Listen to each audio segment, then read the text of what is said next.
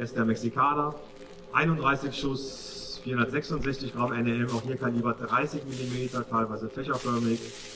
Große Blinkstellbouquets mit mehrfarbigen Leuchtkugeln mit schneller Schussfolge.